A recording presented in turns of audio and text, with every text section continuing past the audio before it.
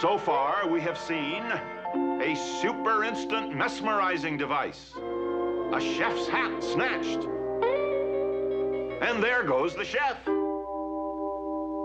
A hunting hat grabbed, and its owner ditto.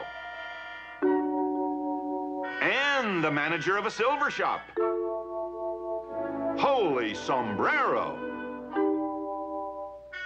A dish. A jury box. Ha-ha! The 13th hat. The Mad Hatter's plans for the Caped Crusader. Another dish. And another snatch. A clue? Who knows?